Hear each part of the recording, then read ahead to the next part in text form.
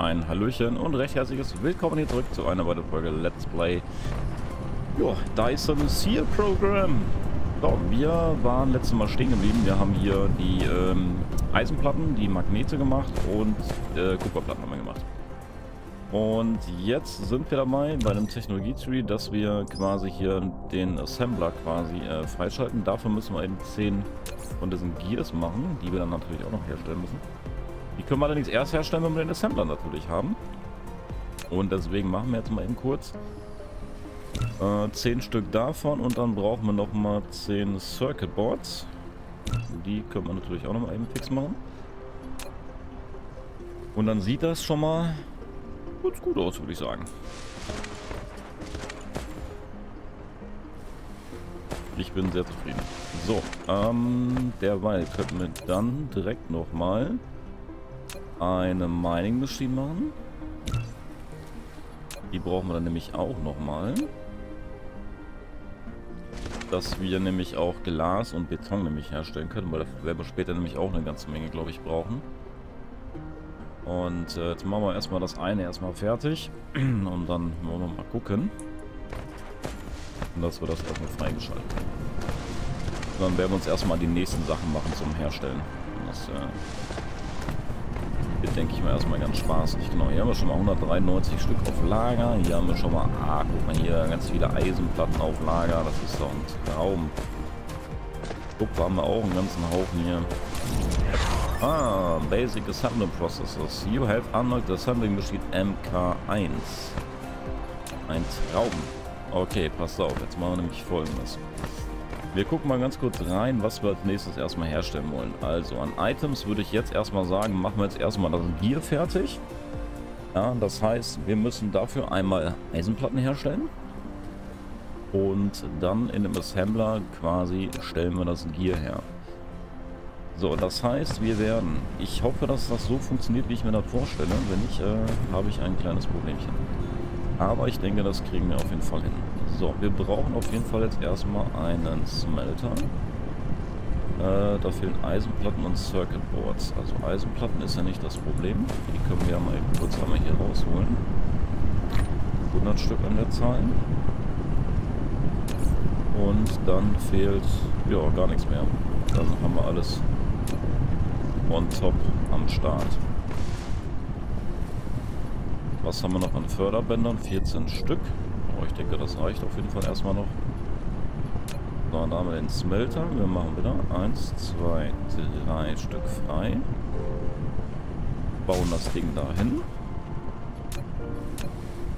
Verlängern ein wenig das Förderband. Dann brauchen wir danach lasse ich auch hier eins, zwei, ja, warte mal, so, dass wir, Sekunde, mache ich erst mit den Förderbändern. Drei Förderbändern. Dann bauen wir den Assembler dahin. Dann machen wir wieder 1, 2, 3 Förderbänder. You have a building without recipe set. Please set the recipe Und you want. wir machen noch After selecting the recipe, you can use the less than key to copy the recipe and the greater than key to paste the next building that needs to set the same recipe. So, jetzt stellen wir natürlich erstmal das Gear her. Hier stellen wir die Eisenplatten her. Und hier hinten kommt dann der Container hin. Zack. So, jetzt brauchen wir erstmal 1, 2, 3, 4, 5 von diesen Ärmchen. ein Stück.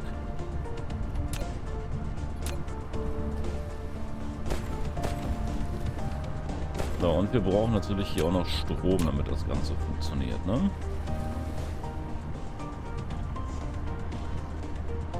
Was nämlich überlegen, ob ich nicht einfach hier sage, aber da ist das, da ist der nicht mit drin, da ist dann aber hier alles mit drin, dann bauen wir den mal dahin. So. Und dann können wir nämlich jetzt einmal die das so machen. Dann machen wir das nämlich so, dann machen wir das nämlich so, dann machen wir das nämlich so und das machen wir nämlich so. So, und Der hat keinen Strom. Warum hat der keinen Strom? Ich habe keinen Distillator mehr. Machen wir fünf Stück nochmal. Und ich habe auch keine Dingens mehr. Äh,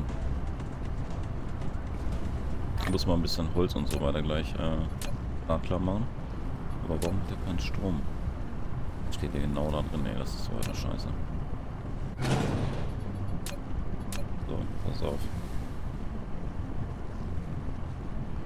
Dann machen wir das einfach mal so. Oder so? Machen wir so.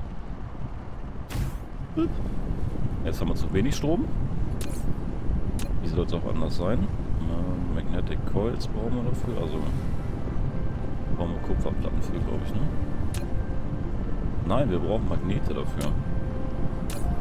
Ja, dann nimm noch mal ein paar Magnete hier raus. Und dann lass uns mal einen herstellen. Ah, guck mal, ich habe ja auch Licht, sehe ich gerade. Haha. Bin ich mir mal schlau gemacht. So, ähm, da, da, da.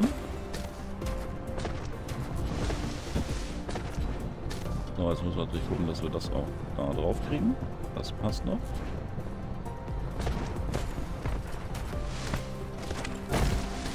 Gut. Jetzt haben wir auch wieder... Oh, immer noch zu wenig Strom. Dann müssen wir noch eine herstellen. Ja, daran sollte ja nicht scheitern.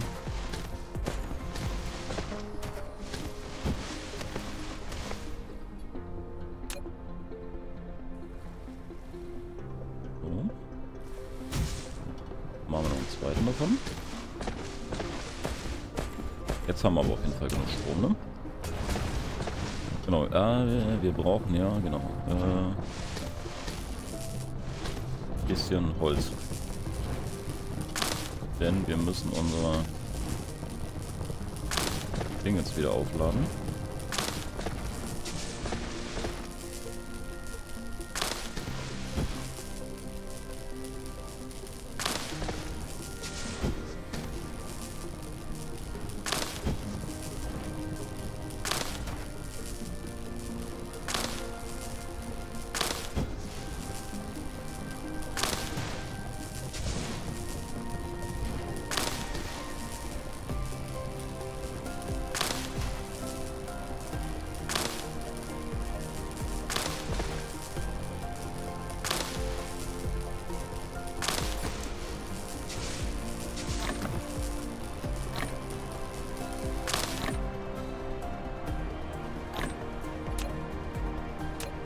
Jetzt wird auf jeden Fall erstmal die Energie wieder aufgeladen. Das ist schon mal ganz gut. Gut.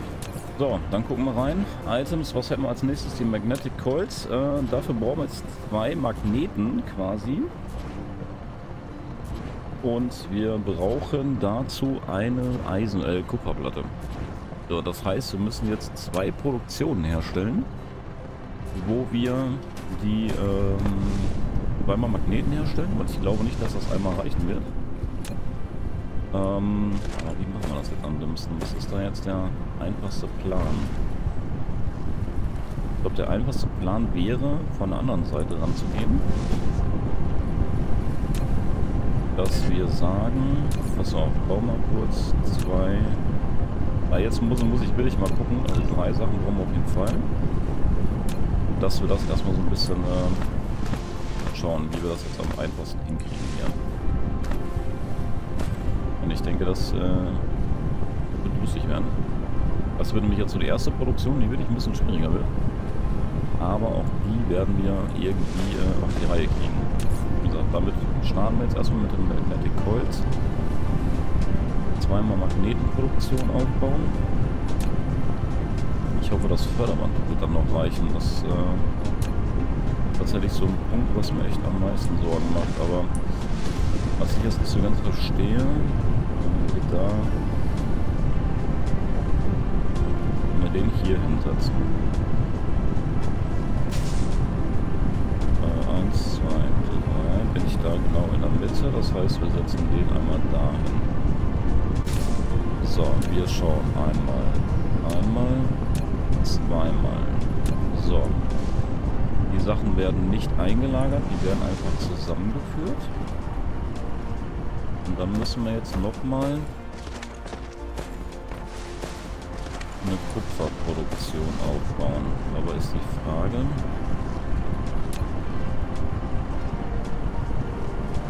Wo bauen wir die Kupferproduktion auf? Lass uns erstmal hier noch ein paar Förderbänder herstellen. Äh, wir brauchen natürlich erstmal ein paar Eisenplatten. Ah, ihr merkt schon langsam, es wird ein bisschen komplizierter. Ähm, dass man da die Sachen irgendwie auch überhaupt zusammenführen kann. Ähm, ja, machen wir 10 Stück. Die Arme mache ich später.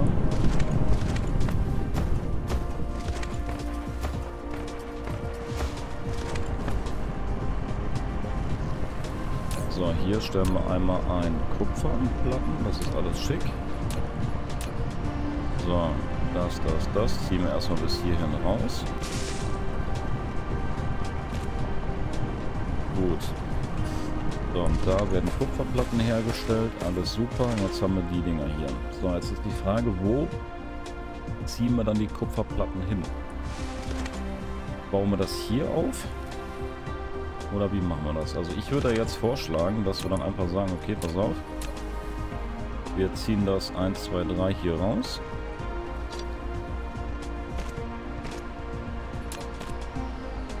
Ziehen das hier hin, weil das passt eigentlich. Boah, guck mal, wie gut das passt, Alter. Das ist ja mega. Habe ich ja mal wieder Ast reingebaut hier. Ähm ja, weil ich könnte jetzt gucken, dass ich sage, okay, pass auf. Ich mach das jetzt hier hin.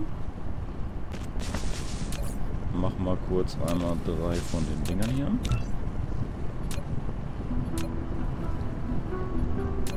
Dann ziehe ich das nach dahin raus, das nach dahin raus. Genau, dann gehen hier die Magnete raus, alles super. So, und wenn wir dann jetzt... Könnte ich ja rein theoretisch, rein theoretisch, wenn ich jetzt hier sage, ich baue noch mal einen Assembler,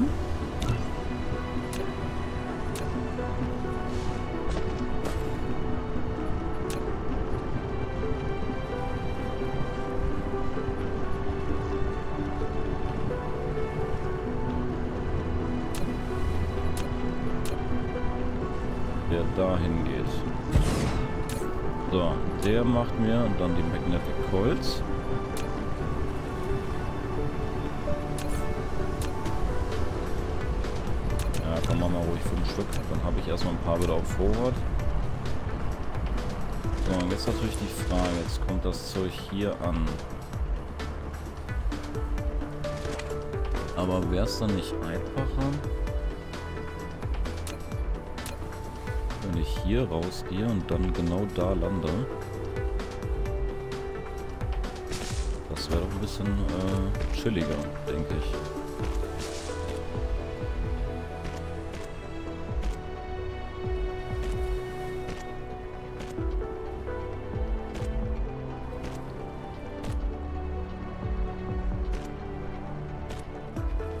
Habe keine Ahnung, ob das gut ist, ob das schlecht ist oder wie auch immer. So, das heißt, ich werde aber hier das hier nochmal abreißen. Das bleibt bestehen. Und dann werden wir nochmal Förderbänder herstellen.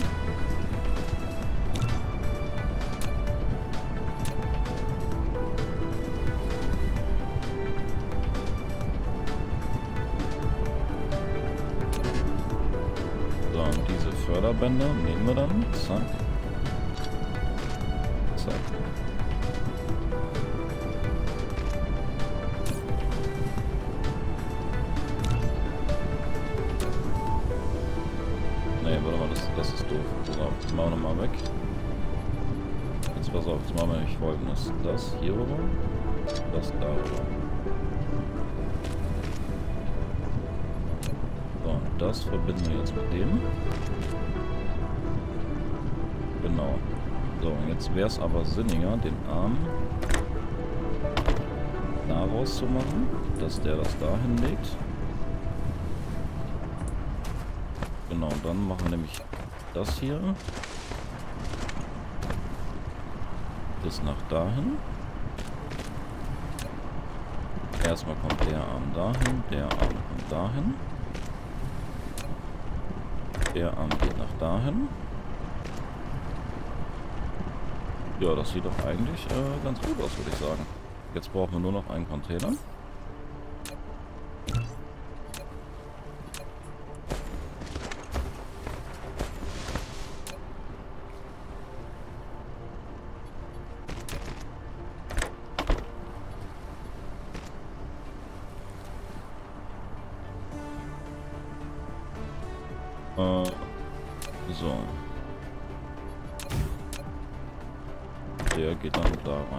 Dann werden da die Magnetic Coils eingelagert. Ja, jetzt weiß ich natürlich nur nicht, ob ich hier noch genügend äh, Eisen dann fördere. Ne? Das müsste man natürlich dann gucken. Ähm, weil das ist hier nicht so einsichtig, sage ich jetzt mal, wie bei, bei Satis, in Anführungszeichen.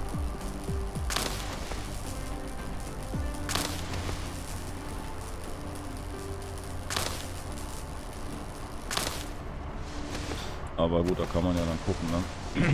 so, pass auf, jetzt brauchen wir nochmal zwei Ärmchen. Ähm, so, ja, dann würden wir die jetzt quasi da mit beginnen. Das ist ja soweit alles schick.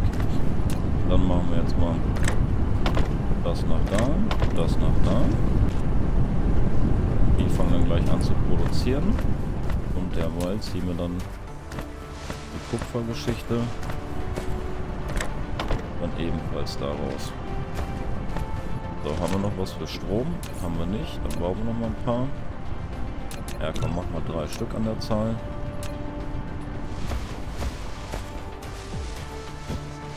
So, jetzt würde ich vielleicht hier noch mal runtergehen. Wenn wir dann die Dinger mal fertig haben.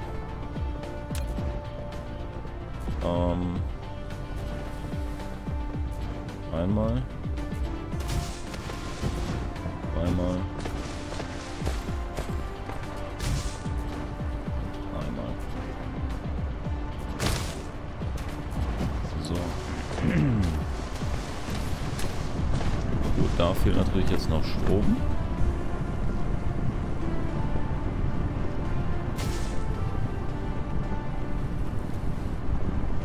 So. Hier kommen die Coils an, die produzieren auch alle das funktioniert. Ja, das sieht doch schon mal ganz gut aus. Bin hier die ersten Magnetic Coils eingelagert.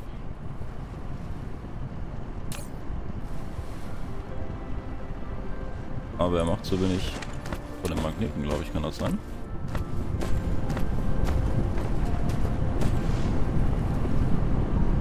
Ja, weil, pass auf, ihr seht das ja hier. Hier kommt nicht genug Eisen an. Ähm, das ist jetzt ein bisschen das Problem, weil jetzt hier, das ist nämlich genau das, was ich befürchtet habe, dass jetzt hier einfach nicht genug Eisen reinkommt. Weil er haut jetzt knapp 100 pro Minute raus. Aber ist die Frage, wie viel braucht er denn? Pass mal auf. Ähm, hier hätten wir Traffic Monitor. Sorte MK2, da brauchen wir aber 100 Forschungspunkte für, die haben wir ja noch nicht mal was wäre denn jetzt erstmal das Sinnigste, was wir freischalten können? Das bringt nichts. Also wir müssten, glaube ich, jetzt die Elektromagnetismus erstmal freischalten. Das wäre, glaube ich, erstmal das Erste, was wir freischalten sollten. Und wir müssen dann nochmal gucken, äh, Items, die Circuit Boards. Aber dafür brauchen wir zum Beispiel zwei Eisenplatten und noch einmal Kupferplatten. Ähm, gut. Aber pass auf, dann lass uns doch erstmal trotzdem die Magnetic Coils erstmal nehmen, die wir haben. Stellen dann nochmal 10 Circuit Boards von Hand her. Können wir gerade nicht, weil uns irgendwas fehlt. Wahrscheinlich Kupferplatten würde ich tippen. Aber das ist ja nicht weiter schlimm. Dann nehmen wir uns einfach welche hier raus. Dann nehmen wir uns hiervon welche raus. Und dann hauen wir nochmal eben den Circuit Boards raus. Jetzt haben wir keine Eisenplatten mehr. Äh, können wir uns aber eben welche holen. Das ist kein Problem. So. Aber wie gesagt, wir liefern gerade nicht genug Eisen. Das ist das Problem bei der ganzen Geschichte.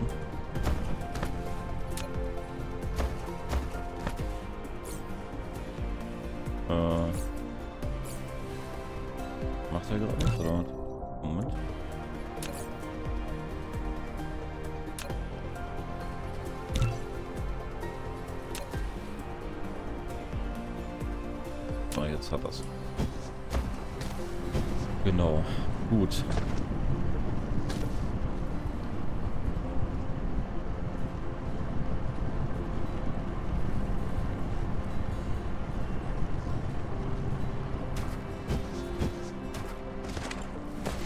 Wir werden aber gleich trotzdem noch ein kleines Problem haben.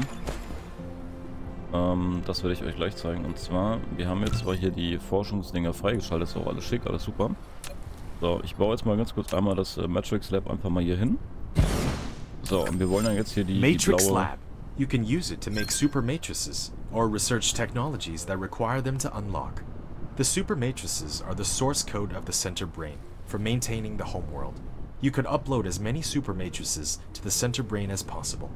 You can be benefit to unlock more actual world technologies by operating the home world simultaneously. Genau, das heißt, wir wollen jetzt hier die blauen Forschungspunkte machen, brauchen dafür dann allerdings einmal die Magnetic Coils und wir brauchen einmal hier die Circuit Boards. Das heißt, wir werden jetzt trotzdem erstmal die äh, Circuit Boards aufbauen. Da kommen wir jetzt erstmal nicht drum rum, sonst bringt das Ganze nämlich nichts. Ähm genau, aber wie bauen wir das jetzt am dümmsten auf? Das ist jetzt eine gute Frage, ne? Ähm, weil wie gesagt, wir liefern ja hier zu wenig Eisen, aber ich weiß ja nicht, wie das ist. Jetzt mal angenommen, ich baue nochmal eine Mining Machine hier hin und sage, okay, habe ich da die Möglichkeit, dass ich jetzt sage, pass auf, ich nehme das Förderband und ich baller das damit drauf.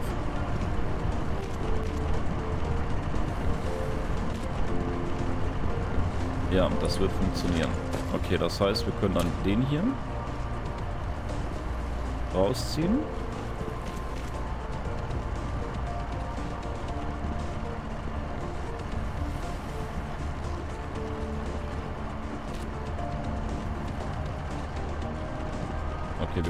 Förderbänder.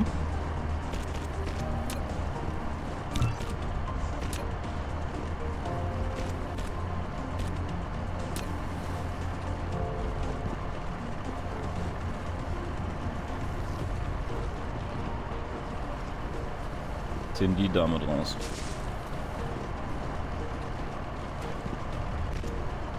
Okay, das dürfte funktionieren. Das heißt, er haut jetzt hier ordentlich raus. Jetzt werden wir aber ihn hier auch noch mit anschmeißen. Das heißt, er braucht dann natürlich einmal Strom.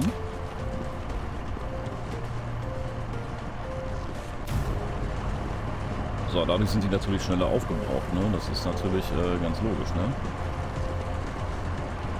Aber dadurch kriegen wir das Band natürlich erstmal wieder ein bisschen voller. Denke ich. Zumindest so, dass es einigermaßen funktioniert. Und er macht knapp 80 jetzt und er macht knapp 100 noch.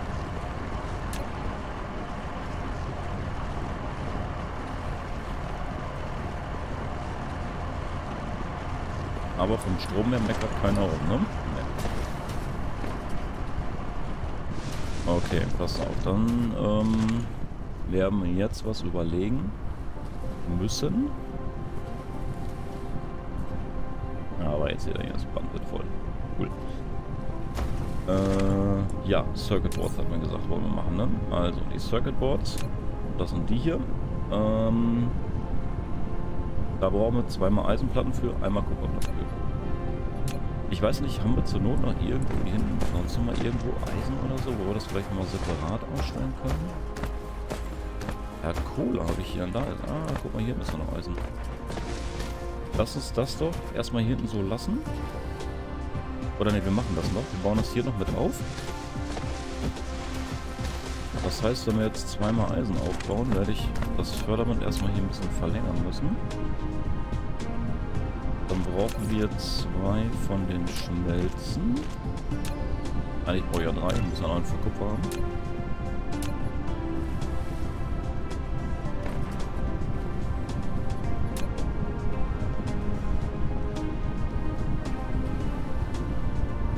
Jetzt sollte er hier auch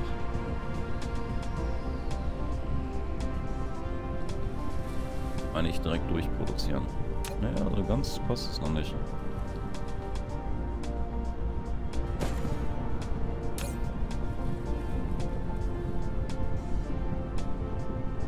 Aber er produziert und er produziert dauerhaft. Das ist alles gut eigentlich.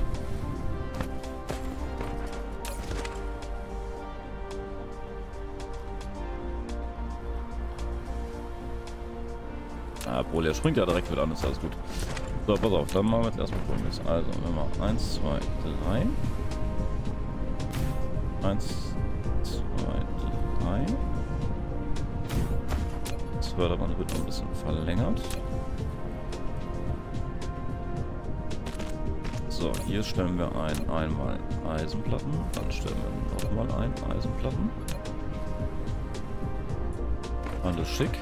So, jetzt brauchen wir natürlich dann äh, Kupfer nochmal. Das wird hier ein bisschen äh, tricky, aber...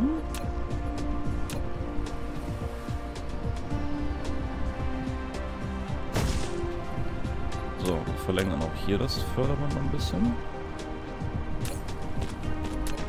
Kupferplatten. So, jetzt natürlich die Frage, wo bauen wir das Zeug jetzt hin? Also ich hätte jetzt vorgeschlagen, dass wir sagen, wir bauen ähm, warte mal, wie kann ich denn wenn ich jetzt sage, ich will jetzt hier oben 2, 3 bin ich auf eine Etage höher, ne? Und wenn ich jetzt das sage das reicht nicht, ne? Scheiße! Aber kann ich eigentlich auch Tunnel bauen? Tunnel wären geil. Aber das reicht echt nicht.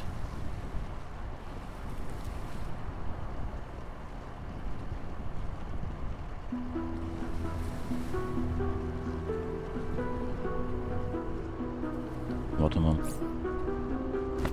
Also, was ist, wenn ich jetzt zum Beispiel hier starte und sage, ich will hier hin? Also, dann muss das funktionieren.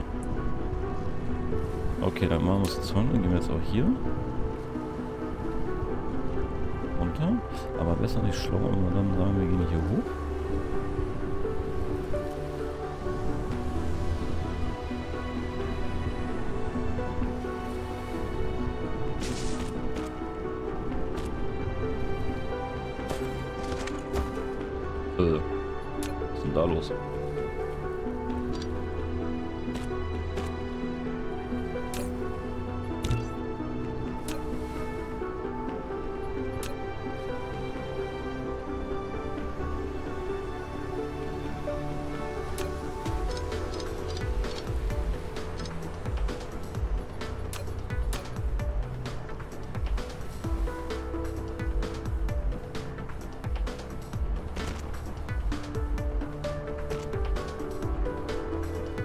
Das gut aus? Ja, das passt soweit, okay. Gut, weil jetzt hätte ich vielleicht gesagt, machen wir nämlich folgendes. Ähm, dass wir sagen, bau mal kurz ein Assembler, bitte. Ja, ob das jetzt gut ist, äh, sei jetzt mal hingestellt, aber wir versuchen das mal. Das ist nämlich äh, einfach ein bisschen mega komplex, dieses Spiel. Das ist echt der Oberknaller.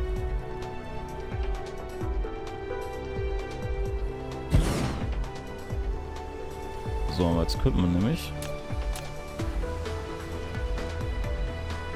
den Förderband erstmal hier hin. Dann werden wir erstmal noch ein bisschen äh, Förderbänder bauen müssen. Fehlt ein bisschen Eisenplatten. Die holen wir eben kurz.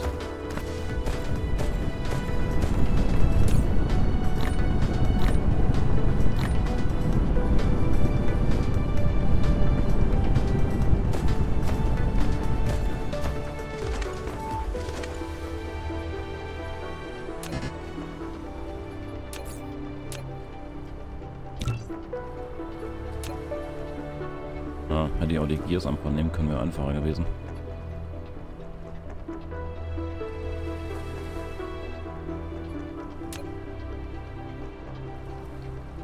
So, wenn wir die jetzt hier reinführen. Die wandern erstmal da rein. Das wandert erstmal hier raus. Dass das passt. So, jetzt haben wir natürlich folgendes Problem. Müssen wir natürlich gucken, dass wir hier mit den Förderbändern raus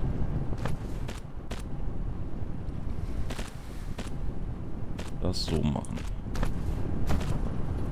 So, jetzt brauchst du mir noch mal ein paar von den Armen hier, ruhig fünf Stück. So, der geht noch da raus. Der geht noch da raus. Und der geht noch da rein.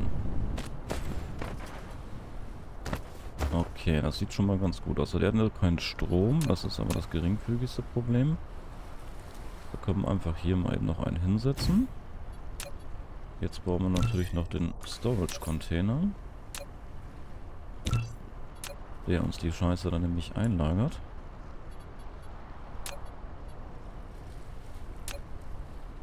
So, äh, muss mal ganz kurz gucken.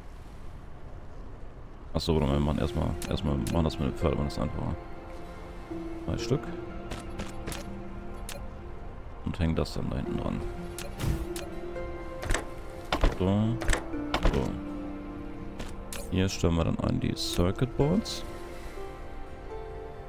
Dann werden die auch schon mal produziert. Ja, eigentlich sollte das jetzt funktionieren. Jetzt brauche ich nur noch mal drei Ärmchen, also zwei Stück.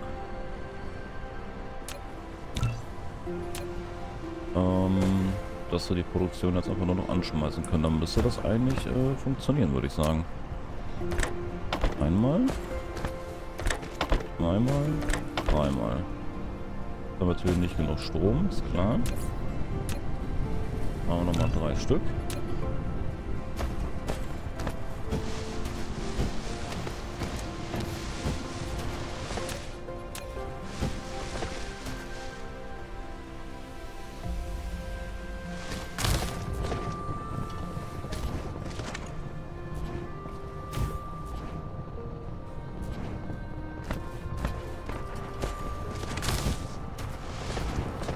Okay, das sieht doch schon mal ganz gut aus, würde ich sagen.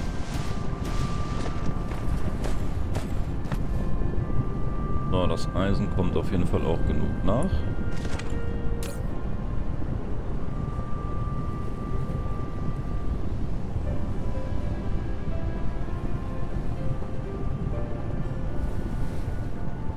Sag mal, kann das sein, dass da einfach, dass der Arm vielleicht nicht schnell genug ist? Kann das sein? Kann möglich sein, ne? Deswegen, pass auf, wir machen jetzt mal folgendes. Ähm, ich würde ganz gerne jetzt erstmal hier das Logistics-Dingens ähm, 2 haben. Das heißt, wir brauchen 100 Forschungspunkte dafür. Ja, das würde ich ganz gerne jetzt erstmal dann äh, erledigt haben. Das heißt, wenn wir 100 Stück davon herstellen. Ähm, 48 können wir gerade. Pass auf, lasst uns doch nochmal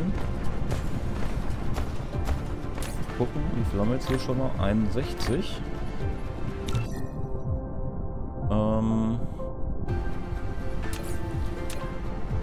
Jetzt können wir sogar 110 machen. Das ist doch schon mal ein Traum. 1, 2, 3, 4, 5, 6, 7, 8, 10. So, dann soll er die 10 doch schon mal fertig machen. Dann kann er das schon mal forschen.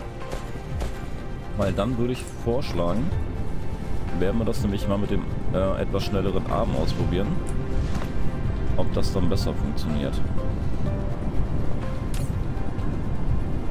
Werden wir einfach mal gucken, weil hier, guck mal hier, da ist auch 100 Eisenplatten drin. Muss man vielleicht gar nicht so viel tatsächlich aufbauen, aber wie gesagt, ihr kennt das ja von Satis, ne? Ich baue alles auf, lage alles ein und deswegen ist das immer alles völlig tiefenentspannt. Aber wie gesagt, das wird jetzt erstmal ein bisschen dauern. Und äh, ja, deswegen würde ich sagen, jetzt 35 Minuten voll. Ähm, lasst uns hier kurz einen Cut machen und in der nächsten Folge würde ich sagen, geht es dann weiter. Ne? Ich speichere mal eben kurz und dann sehen wir uns im nächsten Video. Bis dahin, haut rein und habt einen schönen Tag.